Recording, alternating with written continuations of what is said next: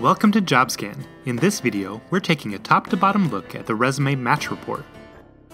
If you've never scanned a resume with JobScan before, be sure to check out our introductory video first. This is the JobScan resume match report. The match rate percentage is calculated by comparing the job titles, hard and soft skills, education levels, and other information on your resume to the job description. JobScan recommends scoring an 80% match or higher before applying. This increases your chances of beating the filters inside applicant tracking systems, otherwise known as ATS. The first round of checks includes important ATS findings based on JobScan's research, such as job title matches and the right college degree. JobScan's scoring algorithm accounts for common behaviors found across the top ATS. That said, every system has its own quirks.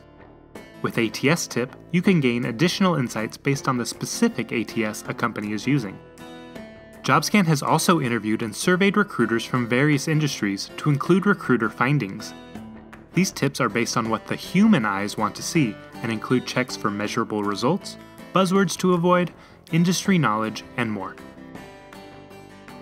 The hard skills section is where you should spend the majority of your time. These keywords correspond directly with essential job duties and tend to serve as important search terms for recruiters.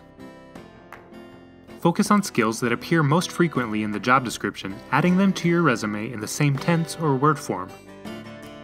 Click on any skill to see the context in which it's used in the job description. If an irrelevant skill pops up, click the X next to the keyword to remove it from the report, then click Refresh Scan to see an updated score without using up one of your free scans.